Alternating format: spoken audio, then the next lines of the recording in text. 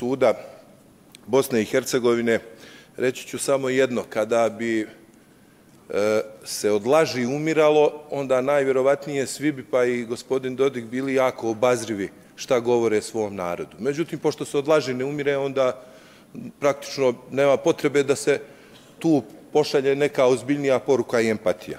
27. juna, gospodine Bukeloviću, 23. godine usvojen je zakon o neprimjenjivanju odluka Ustavnog suda Bosne i Hercegovine. Jedan od zaključaka koji je tada usvojen glasi Narodna skupština Republike Srpske zadužuje vladu da joj podnese prijedlog zakona o dopuni krivičnog zakonika Republike Srpske kojim će biti propisano posebno krivično dijelo postupanja suprotno odredbama o neprimjenjivanju odluka Ustavnog suda Bosne i Hercegovine. Dakle, onaj koji ne poštuje zakon koji smo donijeli, bit će krivično sankcionisan. Vrijeme. Zašto niste uputili takav zakon u proceduru?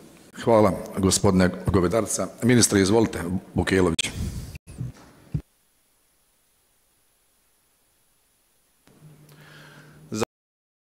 Obzirom da smo nakladno utvrdili da u krivičnom zakoniku Republike Srpske već postoji na sličan način regulisano krivično djelo, a odnosi se na nepoštovanje, odnosno neprimjenjivanje zakona od strane sudija i tužilaca, smatrali smo da bi bilo to dupliranje, odnosno dupla norma u krivičnom zakoniku Republike Srpske. Hvala.